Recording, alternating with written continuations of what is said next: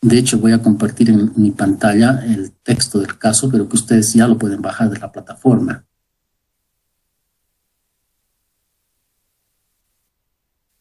Lo pueden leer.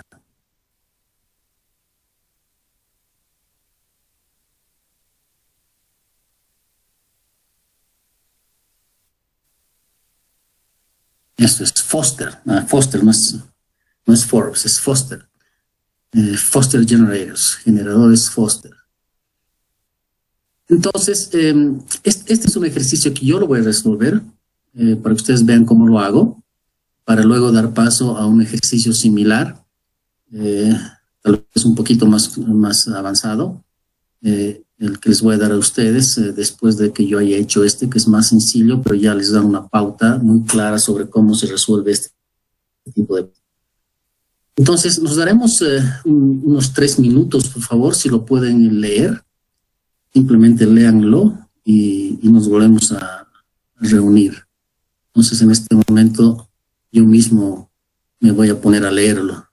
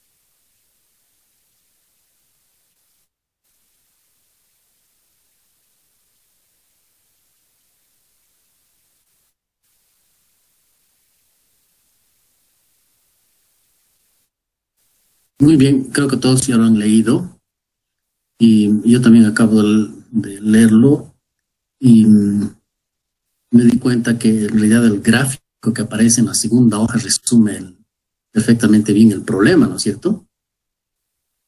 Entonces, si vemos el gráfico de la segunda hoja, eh, este es un caso clásico, es un clásico de problema de transporte. Tenemos eh, tres plantas tienen cierta capacidad de producción. Cleveland puede producir hasta 5.000 unidades, Bedford 6.000 unidades, York 2.500 unidades eh, de, unos generadores, me imagino que es. El, en cambio, la demanda es en cuatro lugares, en cuatro ciudades diferentes. Eh, la demanda en Boston es de 6.000 unidades, de Chicago 4.000, de San Luis 2.000 y de Lexington 1.500. Así que tenemos tres ciudades de origen y, y cuatro ciudades de destino, y todas son diferentes y cada ciudad está a una distancia diferente de la otra en el mapa geográfico. Pero los costos de transporte les da una idea de cuáles pueden estar más lejos y cuáles más cerca.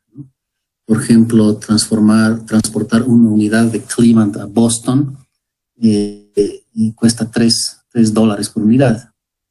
Eh, de Cleveland a Chicago puede costar 2 dólares por unidad, o sea que esta distancia puede ser más corta pero también puede haber temas de, calidad de, las carreteras, etcétera, que pueden también influir en el costo de transporte. O, si, es, si es carretera montañosa, o si es plano, etcétera, ¿no? Em, es mucho más caro llevar de Cleveland a San Luis porque eso cuesta 7 dólares por unidad y de Cleveland, a, Lexington cuesta 6 dólares por unidad. Eh, así que sí se tienen los datos de cuánto cuesta transportar de una plaza a cualquiera, una plaza específica de, los, las cuatro plazas de destino. Eso es importante. Si ustedes notan las flechas, de cada lugar de origen salen necesariamente cuatro flechas porque tiene que ser posible hacer ese transporte eh, desde cualquier lugar a cualquier lugar. Eh, y por último, Nueva York, eh, también tiene sus cuatro flechas y, en cada caso, cada flecha está, tiene la información sobre los costos unitarios de transporte. Em, eh, y, siempre para cada caso es, eh, puede ser el orden para cualquier destino. Ahora, el problema es uno de minimizar costo de transporte. Cuánto exactamente, cuántas unidades de Cleveland se tiene que llegar se, tiene que llevar a cada plaza, cuántas de Bedford a cada plaza, cuántas de York a cada plaza. Esa es la, esa es, la variable de decisión. cuántas unidades se tiene que transportar de una plaza a otra, a cada una de las otras plazas. Esa es la variable de decisión. Eh, el, objetivo, la, función objetivo sería minimizar costos. O sea que va a ser fácil escribir eh, la multiplicación del costo unitario por la cantidad que salga de cada lugar a cada destino. Pero sí, son, son varias, varios nodos o varias rutas posibles, así que tenemos que escribirlas todas. Y cuando se soluciona el problema, no necesariamente nos va a salir que, que por ejemplo, sea rentable transportar algo de Cleveland a San Luis, porque eso es muy caro. Tal vez se pueda atender a San Luis desde Bedford, porque desde Bedford solo cuesta dos dólares la unidad hasta hacia San Luis, entonces tal vez sea más razonable servir San Luis desde Bedford y no de Cleveland. Pero esa es la, esa es la solución que nos va a dar Solver. Solver automáticamente nos va a decir cuánto de cada lugar a qué lugar, tomando en cuenta las diferencias de costos. Em, bueno, el resto del texto básicamente dice lo mismo, lo mismo que está resumido en el gráfico. Bien, entonces, ¿cómo, cómo he planteado este tipo de problema? Em, em, bueno, en primer lugar, em, posiblemente la mejor forma de ver esto es eh, las diferentes rutas. Cada, cada flecha es una ruta posible de una plaza a otra plaza y por lo tanto saber qué cantidad se va a transportar de una plaza a otra, por ejemplo, de Cleveland a Boston, qué cantidad, esa entonces es una variable que se tiene que, que, por la cual tenemos que tener una respuesta. O sea, cada flecha es en realidad una variable. Y como tenemos tres lugares de origen y cuatro de destino, cuatro por tres sería doce. o sea que en realidad son doce variables, porque cada flecha es una variable, dado que tenemos que tener un número asociado a cada flecha en términos de cantidad transportada. Ahora puede ser que la cantidad sea cero en un lugar, pero no importa, es, eh, igual tiene que generarse la posibilidad de que se transporte de un lugar a otro. Perfecto. Eh, en términos de, la solución, eh, aquí tengo el Excel. se los voy a dar también inmediatamente, de forma que puedan utilizarlo como referencia al problema que van a hacer ustedes en grupos. Entonces aquí lo que tengo, esto lo voy a agrandar un poco para que puedan verlo mejor.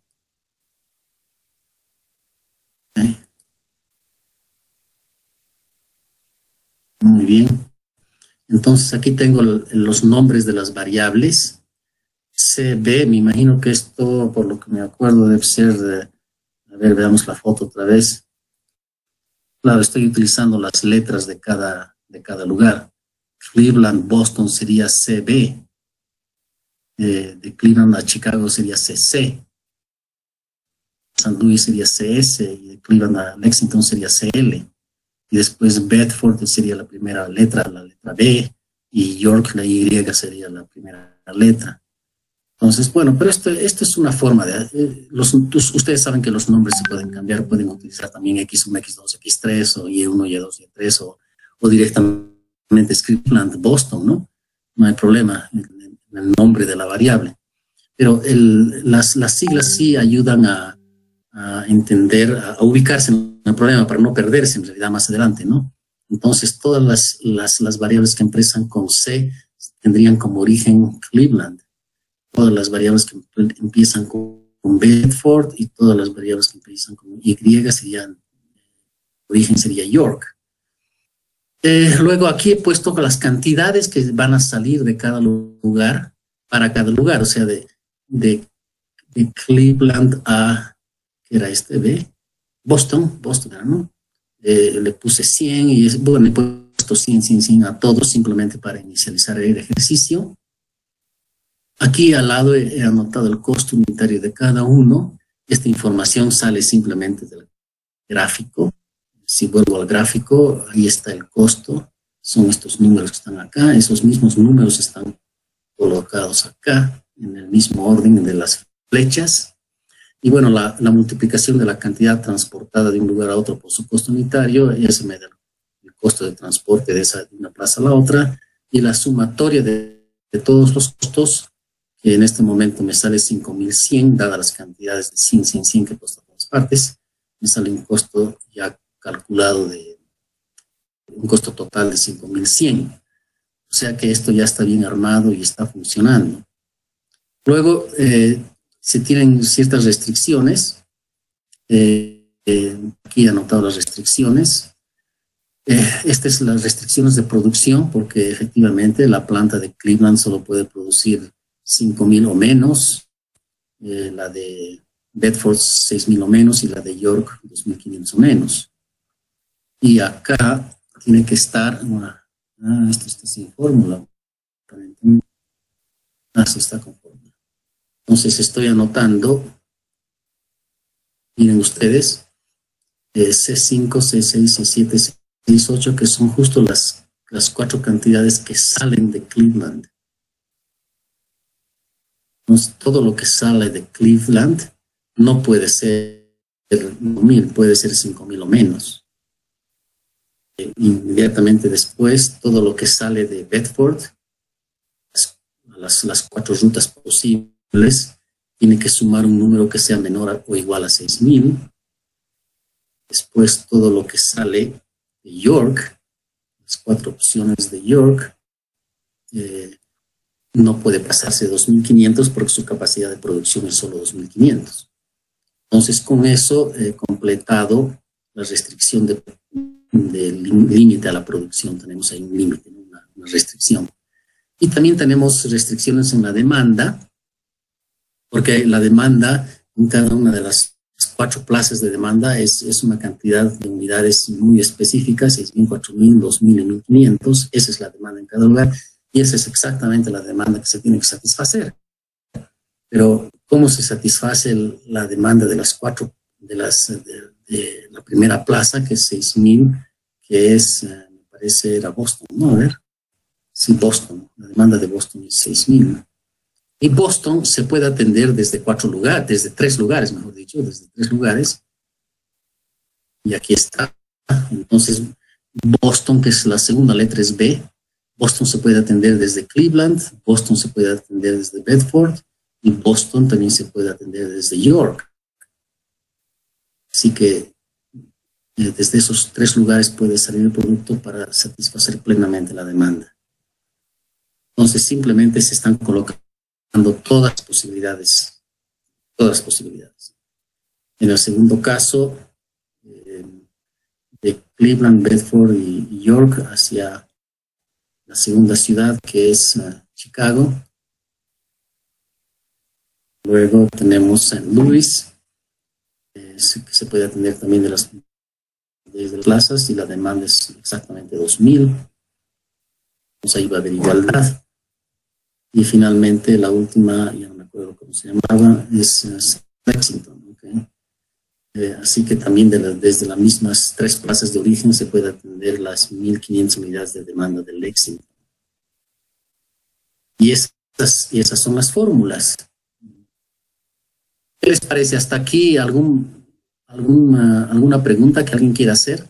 ¿Algo que, que no ha quedado claro, no quemado? No está complicado, ¿no es cierto? Pues voy a volver aquí a la plenaria. Em, ¿Qué les pareció el, Excel que les he mostrado? Eh, está bastante claro, ¿no? En realidad simplemente lo que está escrito en Excel es exactamente el gráfico de las flechas.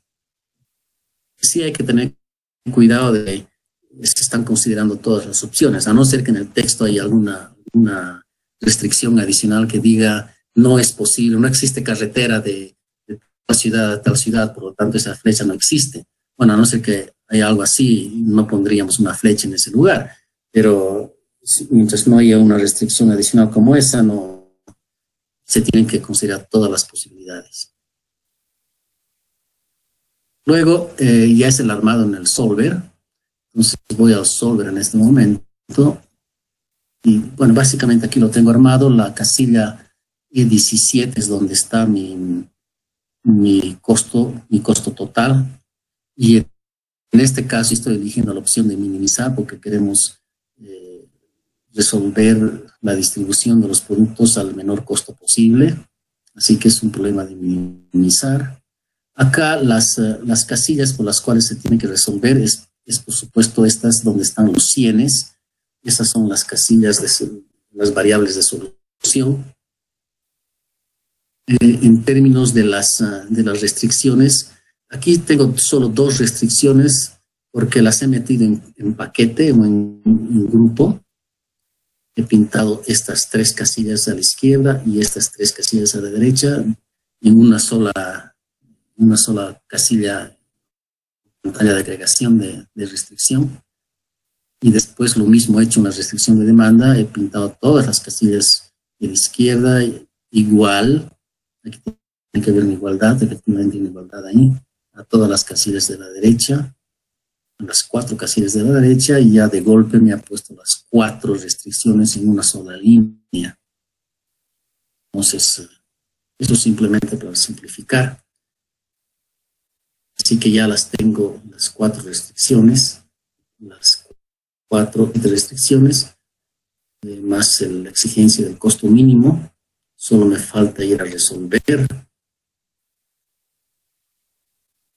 resolver. También puedo pedir informes, por supuesto. Aceptar. Y aquí me sale la solución. eh, la solución que me ha salido es que el costo total de hacer los transportes va a ser de 39.500 y es efectivamente el mínimo. ¿Y cómo se ha logrado eso? Que se va a transportar 3.500 unidades de Cleveland a Boston, 1.500 de Cleveland a Chicago, pero nada hacia San Luis y hacia Lexington. Lo cual es razonable porque realmente son los costos unitarios más caros. Significa que está más alejado, ¿no? Perfecto. Después eh, de Bedford, nada hacia Boston y más bien de Bedford se atiende una parte, o tal vez la totalidad de, Chicago, no parte de Chicago, San Luis, se atiende San Luis y Lexington desde Bedford. Y después, eh, desde York, solo se atiende a Boston y nada más. Desde York no sale nada más. La totalidad de lo que puede producir York, que es 2.500 unidades, todo se lo destina hacia, hacia Boston. Así que esa es la, solución. ¿Cómo, están, ¿Cómo estoy aquí en los límites? Quiero ver aquí a la derecha cómo estoy en los límites y si estoy satisfaciendo las restricciones de capacidad de producción y demanda. en,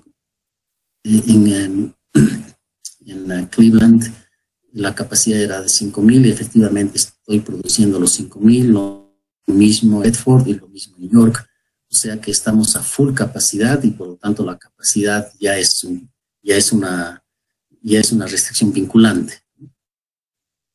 En cuanto a la demanda, eh, esto tenía que ser igual, es decir, la capacidad de producción podría ser igual o menor.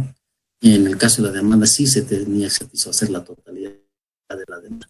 Y eso, eh, y eso se cumple perfectamente porque tengo los mismos números a la izquierda y a la derecha por lo tanto he logrado satisfacer perfectamente la demanda. Así que si este, siendo este un problema de decisión gerencial, eh, la decisión gerencial es, estas son las cantidades que hay que transportar. tienen que imaginarse que en esta empresa Foster, los, tanto las plantas de producción como los sistemas de transporte, todos están esperando la orden del gerente de cuánto llevar de dónde a dónde y aquí está exactamente, el, gerente ya sabe cuánto debe ir de dónde a dónde, simplemente tiene que dar la orden, esa es su decisión, y sabe que es la mejor decisión porque se está minimizando el costo. Así que ese es un típico problema de transporte. ¿Qué les pareció? ¿Me han logrado seguir? Eh, tanto el planteamiento como la, la solución.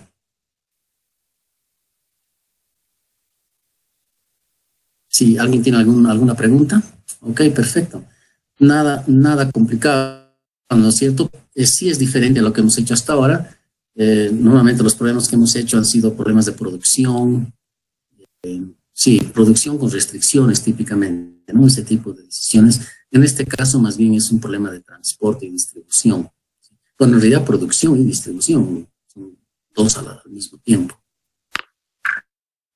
Pero eh, tal vez la clave eh, para, para, solucionar este ejercicio es reconocer que cada flecha es en realidad una variable de decisión. Entonces, de esta manera uno, aunque tenga muchas variables de decisión, no importa. Eso sí es, eh, es una, una buena forma de inicializar el problema y lo demás funciona automáticamente. Profesor, una consulta. Sí. Eh, para ver si es eh, maximización o, minimización, en el solver se lo coloca un máximo o un mínimo, ¿no? Esa parte no, no, no vi bien. Sí, efectivamente. Muy buena observación porque eso es, que aquí en la pantalla te, te permite elegir entre maximizar o minimizar. Exactamente. Perfecto. consulta. Sí. En, en esto de minimización, ¿existe algo así como el precio sombra también? Ah, claro, sí, sí. No, no, hemos visto eso, correcto. En realidad deberíamos poder ir a ver aquí a, los informes, ¿no? Eso, ¿dónde están los informes? debe ser de sensibilidad. Aquí, entonces ahí están las Esa partecita, profesor, quería que nos un poquito amplíe porque eh, el texto eh, que tenemos como referencia habla las variaciones de los coeficientes de, de, la función objetivo y también habla de la derecha de las restricciones. Entonces, este, tal vez eso nos pueda aclarar un poco qué hace variar o cuál es el efecto de estos coeficientes en la función objetivo y cuáles son los efectos eh, de, la, de los valores que se tiene al lado derecho de las restricciones, profesor. Ya, pero te estás refiriendo a estos multiplicadores de Lagrange, ¿no? Precio sombra. Sí, también, o sea, eh, esa parte teórica o más bien eh, conceptual. Ah, ya, ok. Bueno, mm, tal vez habría que ver el, el informe previo primero, en el que uno le dice, aquí abajo está, este es el primer informe, en la parte inferior del primer informe están las celdas donde, expresan las restricciones. Entonces tenemos cuatro restricciones de demanda, y ahí dice restricción de demanda, ¿no? Tenemos cuatro restricciones de demanda, esto lo voy a agrandar un poco más porque tal vez no lo pueden ver. Así. Entonces aquí están las casillas, las celdas de Excel donde están estas cuatro restricciones de demanda. Este es el valor exacto de la demanda y acá nos dice que, son, que es vinculante, es decir, que em, es, es cuello de botella. Decir, que si se está utilizando al máximo, se están utilizando. Entonces hay, y, también las de producción, las tres de producción que están, son estas aquí abajo, nos está indicando que son vinculantes. O sea que toda, tanto la capacidad de producción como la demanda son, todas son vinculantes y entonces tenemos siete cuellos de botella. Si, si queremos producir más porque aumenta la demanda, no lo vamos a poder hacer porque ya no tenemos capacidad de producción disponible. Por eso es un cuello de botella, porque ya no podemos aumentar la capacidad de producción, estamos produciendo al máximo, al 100%. Tal vez eso es un poco irreal en el mundo, en el mundo real me refiero, ¿no? El, de que las empresas uh, difícilmente van a llegar al 100%, pero se van a aproximar al 100% en algunos casos extremos. No siempre van a estar operando al 100%. Pero esta es una situación en la que se les está exigiendo a las plantas operar al máximo, máximo posible, porque la demanda está grande.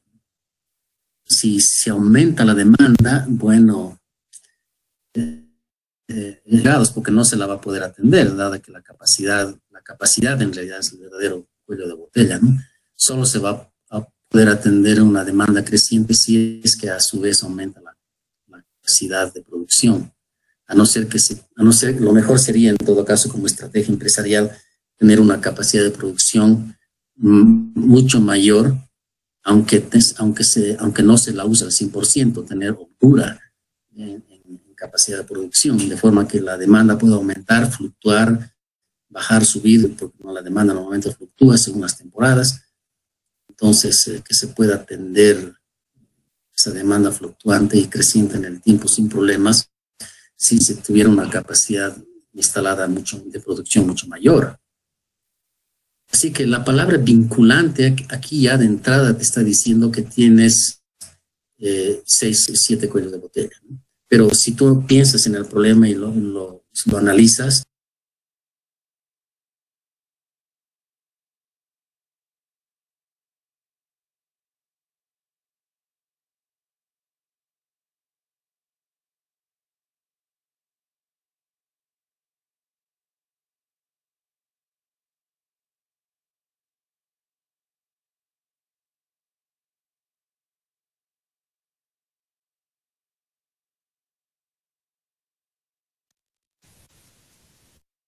Eso, eso de por sí no lo hace vinculante.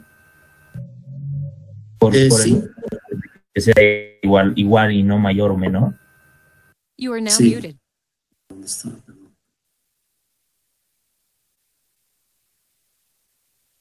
Sí.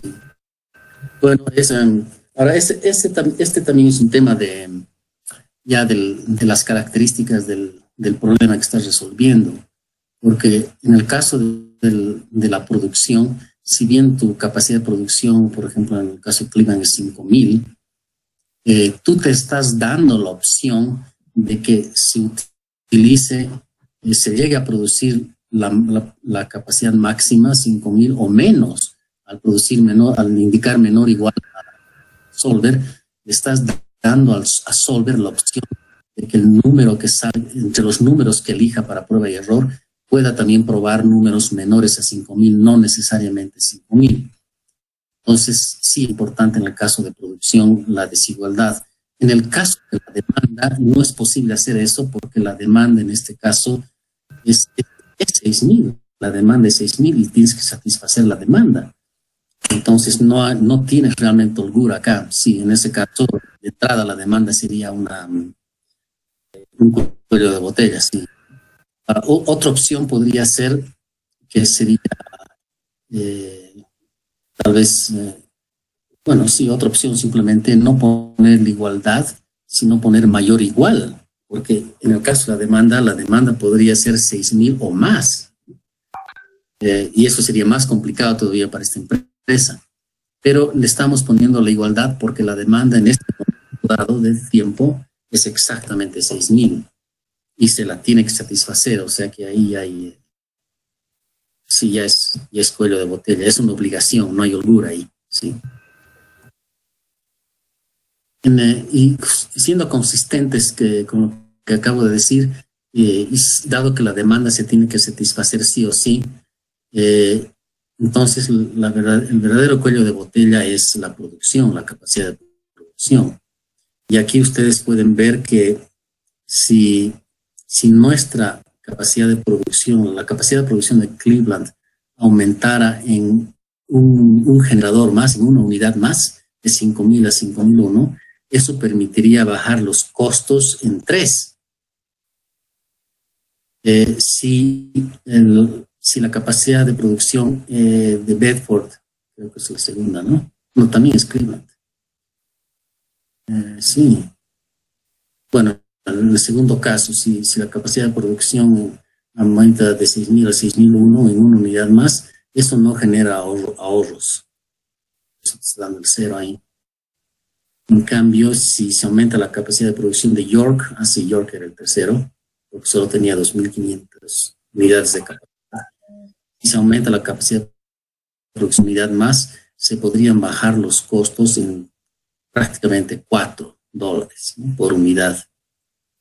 O sea que esta es la parte más interesante de este caso, que puedes bajar más los costos si tuvieras más capacidad de producción, especialmente desde Bedford y desde York. Perdón, desde Cleveland y desde York, no tanto desde Bedford. Esa es la interpretación del, precio sombra. Esa es exactamente la interpretación del precio sombra o, o multiplicador de Lagrange. ¿Qué tal? ¿Alguna pregunta más?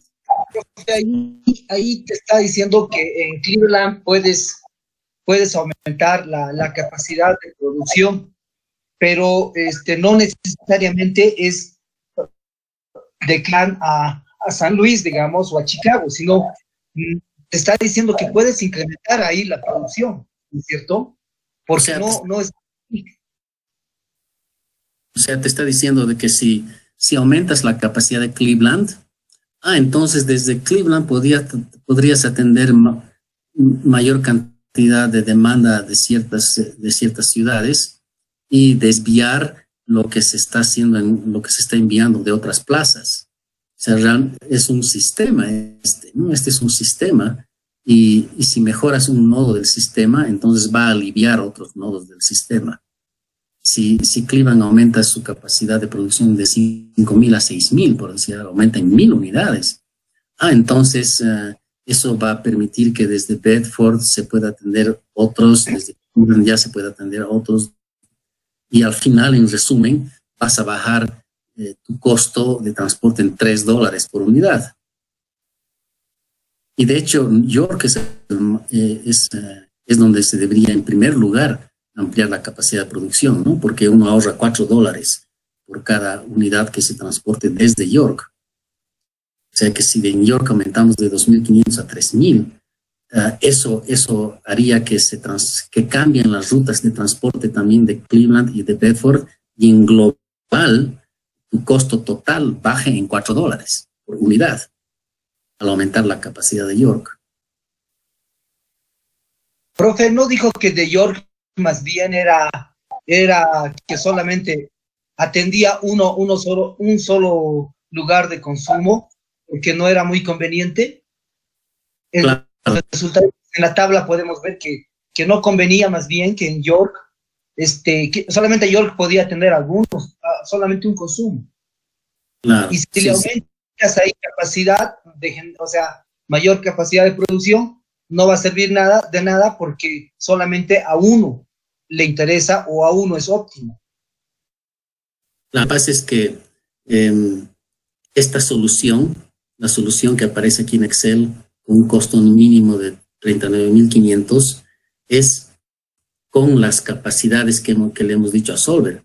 Le hemos dicho a Solver que en New York solo hay 2.500, en Bedford 6.000, en Cleveland 5.000, dadas estas demandas en las otras plazas, dados estos costos unitarios, esta es la solución óptima. No conviene transportar de York a las otras plazas, de York solamente a Boston, 2.500 y punto. Pero si aumentas la capacidad de, de, York, entonces obviamente va a cambiar también la, la, la estructura del, del transporte, va a cambiar esta estructura, porque vas a poder atender de mejor manera. Va a cambiar todo. Entonces, una cosa es el análisis estático, que es el primero que hemos hecho, y otra cosa es el análisis dinámico.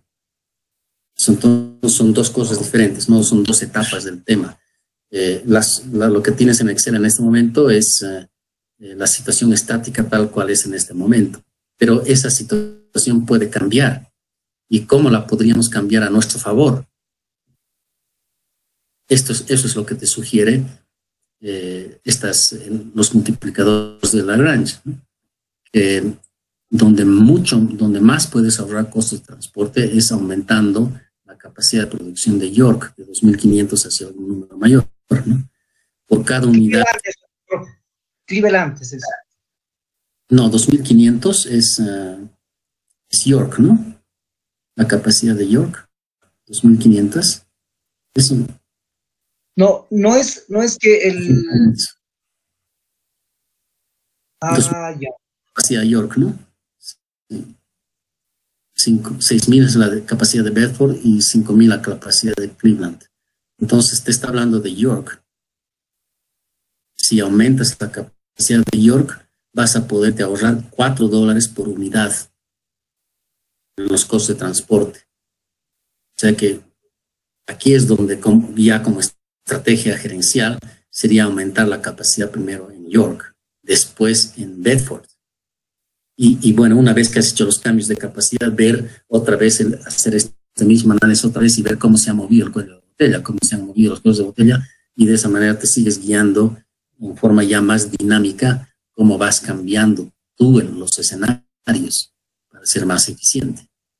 Ahí los dos negativos que tenemos, o sea, el menos 3 y el menos 3.99, nos están diciendo que al incrementar en esos tramos CB, o sea, Cleveland, Boston y Cleveland, eh, San Luis, este, si incrementamos ahí, más bien vamos a tener una, una, ganancia, un, va a ser negativo, digamos. lo que ya, ya, a ver, a ver, espera un rato. Sí, sí, creo que tienes razón, déjame ver, porque ahí dice que 5, 6, 7, ¿no? 5, 6, 7, y, sale, y todas son de Cleveland. Sí. sí. momento, sí. 5, 6, todas. A ver, no, no, no. No, porque aquí están otras cantidades, ¿no?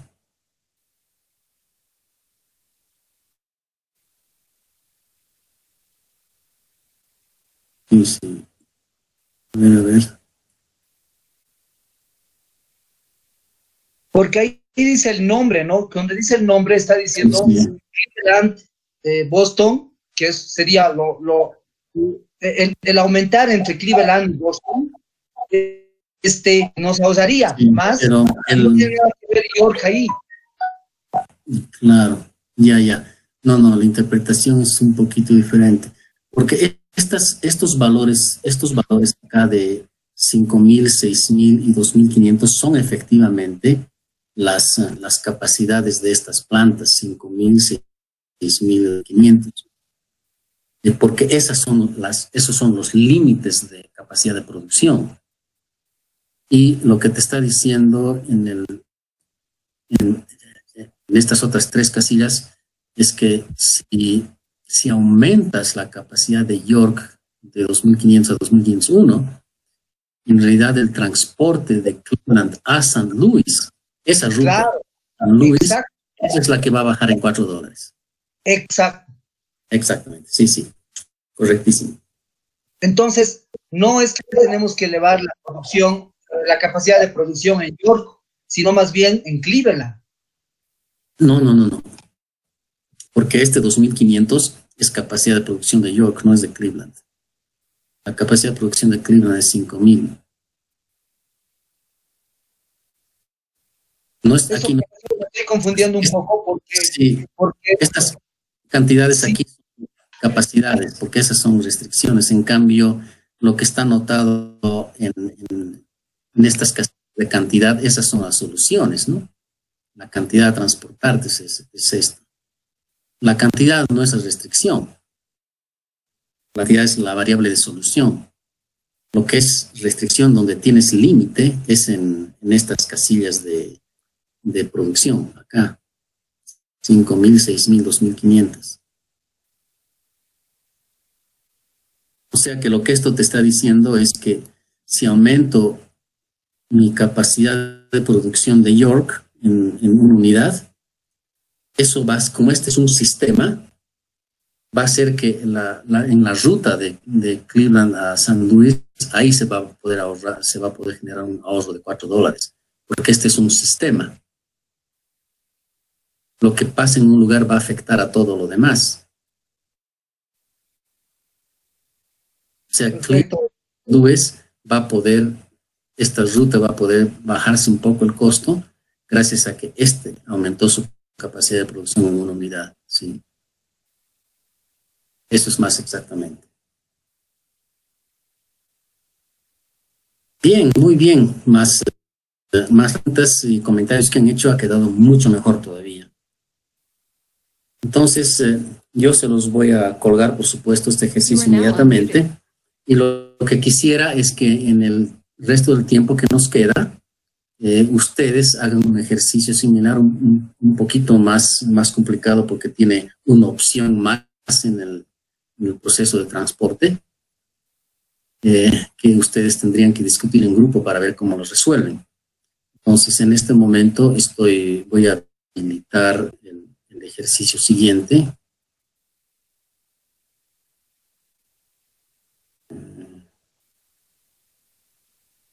Para que ustedes Profesor, disculpe que, insista.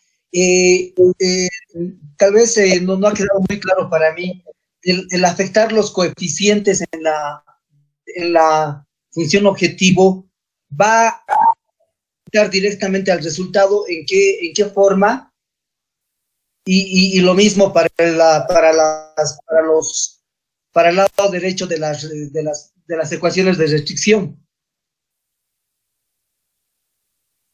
Mm, a ver, a ver, déjame ver eso. Eh, aquí estamos otra vez. Eh, ¿A qué parte te refieres? ¿Los costos unitarios, dices? Sí, en, es- en este caso, eso serían la- las, eh, la- las, los coeficientes, ¿no? De la función objetivo. Sí. El afectar, el cambiar esto, afecta directamente a dónde. Bueno, afecta a todo el sistema, ¿no? Afecta a todo el sistema, porque nuevamente si es que si es que baja uno de estos costos, eh, entonces eh, si, si esto baja de 3 a 1, por ejemplo, entonces mucho más, sería más rentable transportar lo más posible de Cleveland a Boston. Entonces, menos producción se va a poder transportar de Cleveland a las otras plazas. Entonces, va a haber más exigencia a las otras plantas para atender las otras plazas, dado que Cleveland se va a concentrar más en Boston, dado, que bajó este costo unitario de 3 a 1. Entonces, es un sistema y todo está conectado con todo. Todo afecta a todos. Bajas un costo, no solamente afecta al costo total, sino va a cambiar la estructura del transporte de un lugar, de todos los lugares a todos los lugares. No sé si me dejo entender. Sí, sí, está bien. Ocurriría lo mismo con, el, con las restricciones, ¿no es cierto? Sí, exactamente con las restricciones.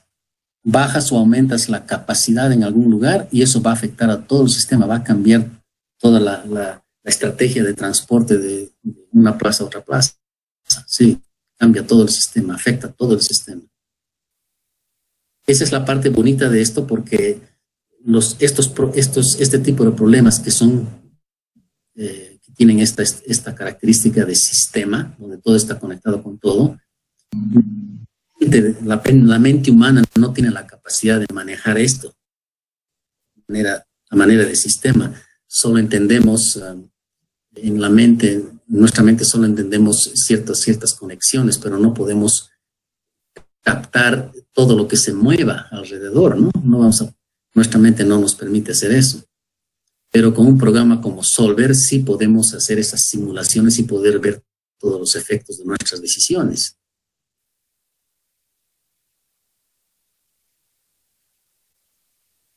Sí. entonces, muy, buen, muy bueno tu comentario porque me ayuda a decir ese tipo de cosas. Yo me imagino que la inteligencia artificial es justamente lo que hace es esto, ¿no? Tiene mucho más capacidad de ver de hacer análisis sistémico, mejor que la mente humana. Muy bien, entonces, em, ahora sí, pasemos al, ejercicio que van a hacer ustedes. El ejercicio que van a hacer ustedes se llama eh, American Steel Company, que ya lo pueden bajar en este momento del Internet. Entonces, en este momento voy a armar los, los grupos. En este momento voy a armar los grupos. Cada cada persona ya sabe a qué grupo ir. Eh, yo tengo aquí las 7 menos 5 eh, y directamente vamos hasta, hasta el final de la clase, 5 minutos antes del final de la clase. Eh, no, directamente hasta, las 8 y media. Y a las 8 y media en punto podríamos simplemente ver los resultados que les han salido, porque ya no vamos a tal vez de ver el desarrollo con mucho detalle. Eh, bueno, nos daremos hasta las 8 y 25, así tenemos esos 5 minutos para, para ver la solución de alguien al azar que nos muestre muy rápidamente. ¿De acuerdo? Entonces, en este momento voy a armar los grupos. Y ustedes, de hecho, ya pueden, ya pueden estar leyendo el caso y, y adelantándose. Como de costumbre, yo ya tengo aquí mi, mi dado listo entonces simplemente sorteamos y al, grupo que, le salió el número expone. Eh, si no ha logrado terminar, no hay ningún problema, simplemente expone hasta donde, hasta donde han llegado, ¿no? No hay ningún problema. Eh, create rooms. Seis.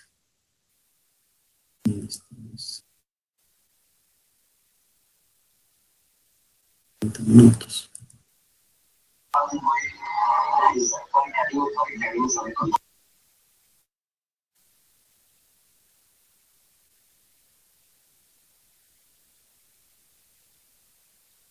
Ahora sí, adelante, por favor.